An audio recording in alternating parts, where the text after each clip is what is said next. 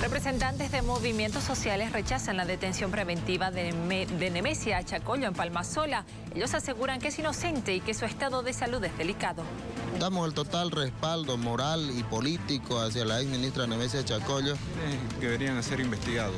Ahí están, habría que ver las citaciones hacia lo que es la directiva, de lo que manejaba el Fondo Indígena, por cierto, los los secretarios ejecutivos de las confederaciones, que en, ese, que en ese entonces estaban a la cabeza de la Federación Única, de la Federación de Intercultural, de la Federación de Bartolinda. Nosotros repudiamos la actitud del juez que ha, ha dictaminado su detención preventiva, no valorando el estado de salud que tiene la compañera Nemesia. La justicia tiene que ser imparcial, pero también sabemos que hay otros actores, porque el Fondo Indígena se maneja de una manera autónoma que tiene su directiva, entonces, entonces ha debido haber esos actores que se tiene que investigar hasta el momento. Nosotros como compañía militares vemos en la compañía de Mejía allá hoy es inocente.